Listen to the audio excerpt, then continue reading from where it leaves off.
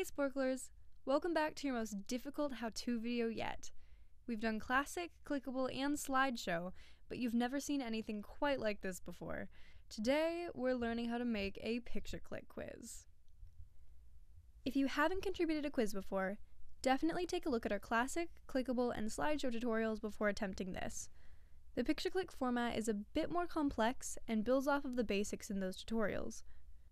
While picture click might not be as familiar to you, they are just as fun to play. So don't be afraid and let's jump right in. First, navigate to the Game Management dashboard and click Create a Sporcle Quiz. We're going with Click the Vegetables this time.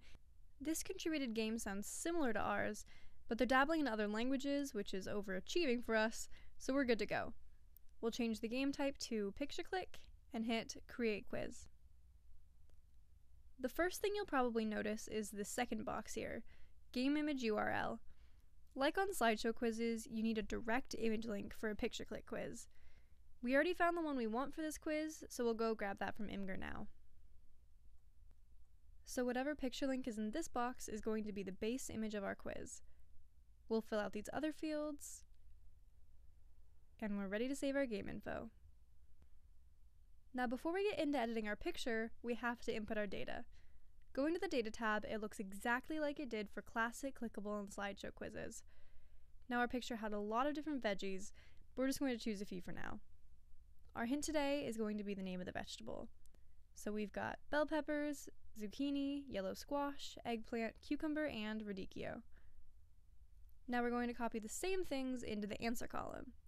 These two fields don't have to be the same, our quiz is just so simple that it makes sense. The answer column has all of the labels that will appear when the right answer is selected. It's also the answer column that you'll see when you make your shapes on the picture map. Now that we have all those entered, we can go back to our Game Info tab. We'll click Edit Map, and now the real fun begins. All of the answers we put in our Data tab will appear in a little answer box over here.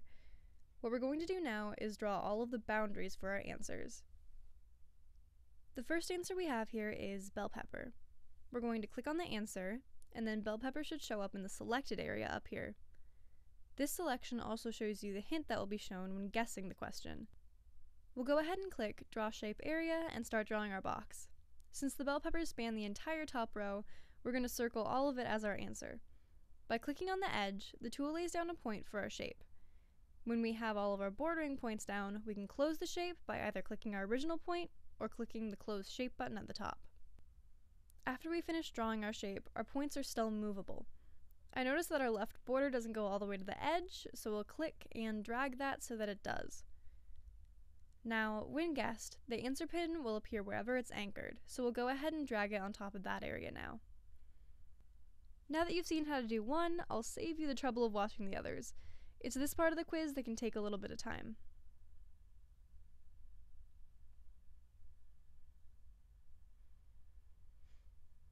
Okay, now that we're done with the shape drawing, our quiz is basically done. When you complete a shape or move a tag, you'll see a yellow box that says Changes Saved pop up at the top of the map. Since we know it's saved, we're free to click Test Game and give it a shot.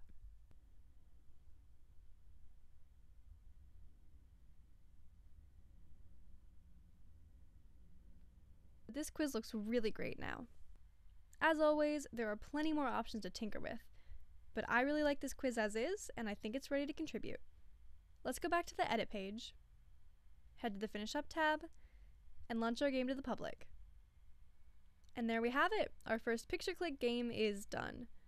Picture click is probably my favorite format to play on Sporcle, so if you haven't made a quiz yet, I'd definitely try it out. The possibilities with this quiz type are endless. Thanks for watching, we hope this video was helpful for you. If it was, be sure to leave us a thumbs up and comment with what tutorial you'd like to see next.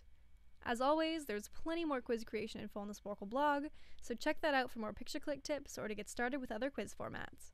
Good luck!